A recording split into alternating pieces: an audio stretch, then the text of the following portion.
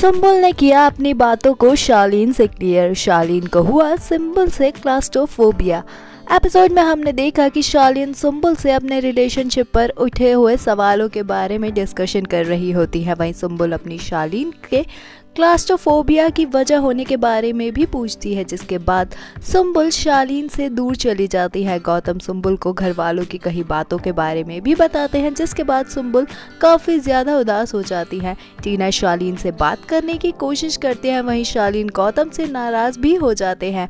वाला, आपका सुम्बुल और शालीन के इस नोकझोंक के बारे में क्या कुछ है कहना, हमें कमेंट्स में ज़रूर बताएँ। टीवी शोज़ की अपडेट्स के लिए हमारे चैनल को सब्सक्राइब करें।